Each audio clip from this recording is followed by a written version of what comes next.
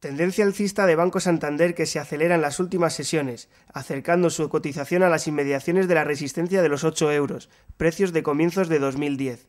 Estos precios además se encuentran en el entorno de los máximos históricos, por lo que lo más normal es que acabemos viendo un alto en el camino. Los altos niveles de sobrecompra que ofrece el valor tras unas subidas cercanas al 30% en los últimos tres meses no hacen esperar una toma de beneficios inminente en su serie diaria de precios.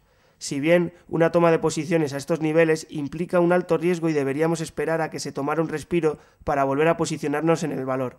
Una vuelta a las inmediaciones de los 7 euros es lo que esperaríamos para volver a posicionarnos en el valor director de nuestro mercado.